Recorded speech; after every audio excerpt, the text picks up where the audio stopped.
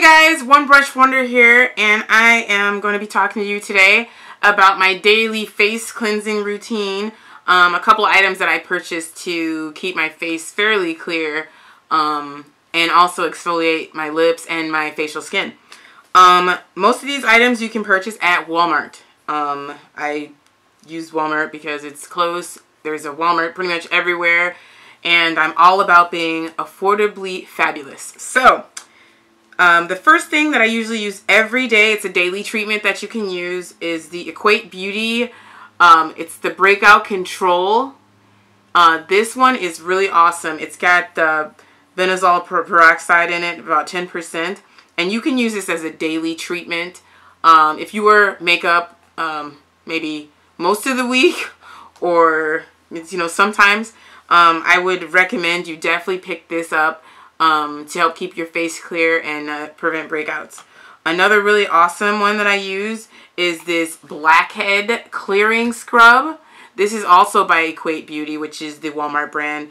Um, and I only do this about twice a week. I do this one about twice a week. Um, and if it's, uh, if I see like my face is really breaking out, I might do it three times. Um, another really good one uh, most people use the St. Ives version of this one, but the Equate Beauty Blemish Control, it's got the uh, apricot pieces in it. Really helps exfoliate, exfoliate your skin, and it's really good for the lips as well. Um, you got to remember your lips, because if you don't, um, they'll just get real dry and crack. So uh, I always exfoliate my lips um, when I'm doing my facial uh, cleansing treatment.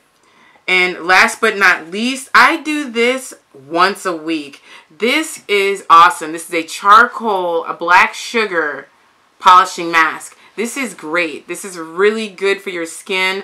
Um, it won the Allure Beauty Award. Um, it's by Freeman. Um, and it's a dual action purifying mask. It's great for all skin types. Um, you put it on your face uh, and you uh, leave it on there for about five to seven minutes. I usually put it on before I go in the shower. And then you'll massage, after it's set, it's sat on your face for about five to seven minutes, then you'll go ahead and massage it from one to two minutes before you rinse rinse it off with warm water. Um, but yeah, it says use twice a week or as often as needed, but I use this about once a week and I think that's enough for me.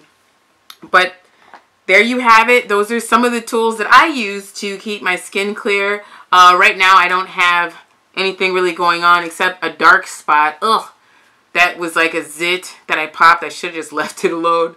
But um, of course it, it created a dark spot. So right now I'm actually trying out the um, Pond's uh, Dark Spot Corrector.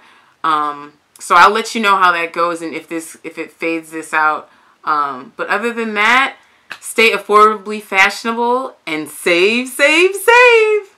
Subscribe.